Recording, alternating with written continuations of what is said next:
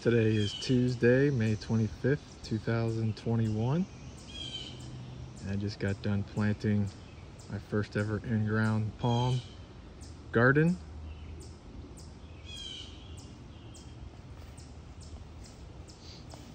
Eighty-eight degrees today, so nice and hot.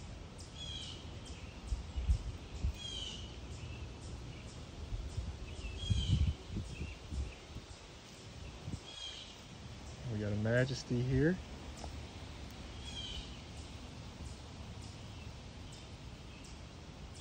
And a Petra Croton variety.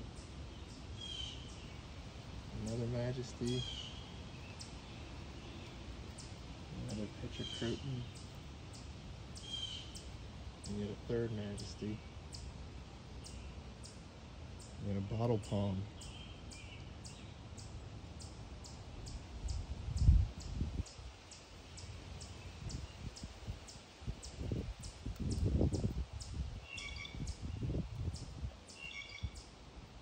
More crotons here, different variety than the others.